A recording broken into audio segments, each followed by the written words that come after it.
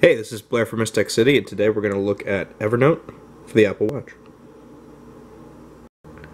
So while the app has a couple of nifty side features, there's really two main things you can do with the watch. Take a note or search for a note.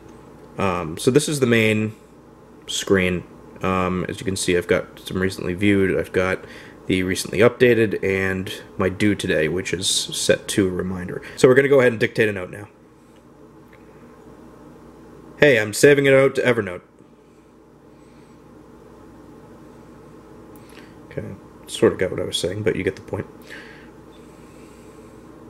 So you've got two options here. One, you can save it, or if you want to set it as a reminder for later, you can set it up so that it reminds you tomorrow. Now, it does this with a stock uh, time, so it's very basic. Um, can't really change the settings or anything, but let's just say we want to set that to a reminder and we want to click save. And here you go. You'll see the actual note itself with the text. And so once you see that note show up on the watch, you should be able to pull it up on your phone as well by clicking the Evernote icon in the lower left corner. And that should pop up. And there it is. So you can click on it. And there's your text. So another useful function of the app is the ability to receive notifications. So if I set up a reminder item, I can get reminders sent to either the phone or any of my other devices, but I can also get it sent to the watch, which is a cool feature. So we're going to go ahead and um, we've already got that set up, and uh, we're going to just wait for it to show up.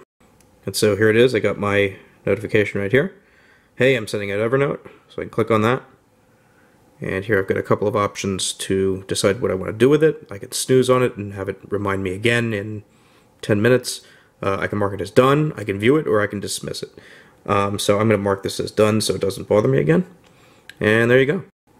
Another cool feature to note is that those checklists that we were talking about earlier, they can actually be checked off one by one.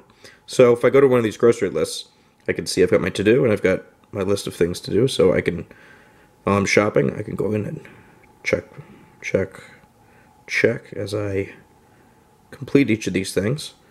And um, it's just another useful thing to have. Um, and obviously it'll show up on the app as well, on the phone and elsewhere. And that's Evernote for the Apple Watch. Be sure to check out the rest of our tutorials and app reviews on our YouTube channel or visit wristtechcity.com for the latest Apple Watch news. See you next time.